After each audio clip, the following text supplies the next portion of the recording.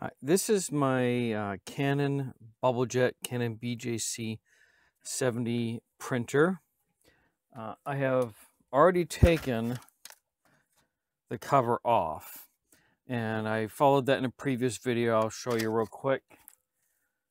It's fairly easy. There is one screw here on the back and then along the sides, what I used along the seam is just a regular flat tip screwdriver just to pry the top off. The problem I was having is that this printer uh, was not printing. So what I needed to do was to take this off of here. Uh, this was a new ink cartridge, so I'm going to set that aside. This unit here is uh, what I'd seen on the video was assumed plug. So there's a little notch on the side. And all I had to do was just to pop this out. And all right, let me turn this off so there's no sound error. So what I did on this right here and this I use some regular rubbing alcohol. Uh, this is just what I happen to buy at Market Basket. You can buy it at any store. Uh, what I liked about this bottle is it does have a little uh, squirt feature at the top.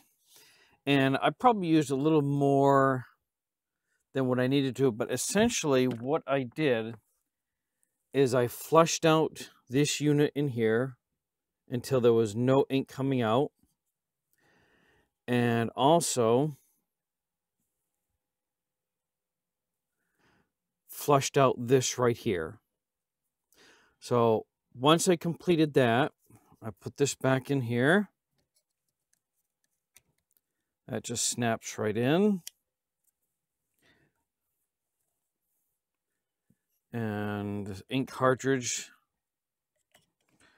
right in here. And so I'm just going to pause the video for a minute just while I put the cover back on. Actually, you know what? Let's do that while the video is running so you can see how easy that is. This just snaps in. And I'm going to turn this over.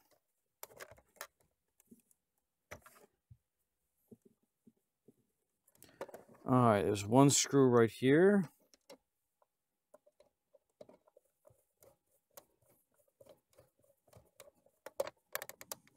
Just secure that. We'll flip this back over. Turn this on. You know, for the purposes of the video, I mean, you're kind of seeing this uh, backwards. This is the best location I got. Uh, but you'll still be able to see uh, you know, inside what I was doing there.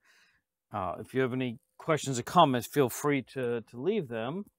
And I can always redo the video. So what I'm going to do is stick in a plain piece of paper.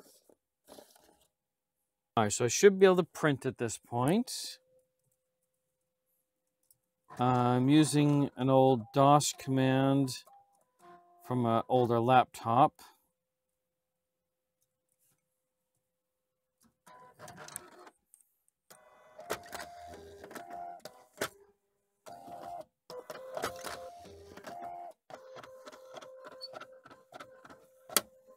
All right, here comes the uh, test print.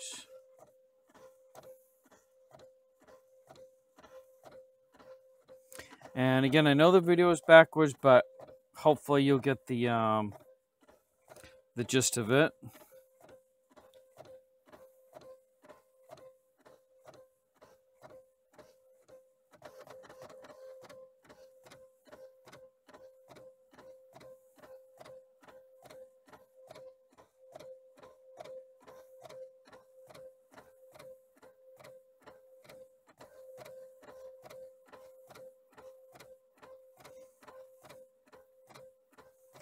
All right, that's coming out nice and clean. So we're just going to feed that out.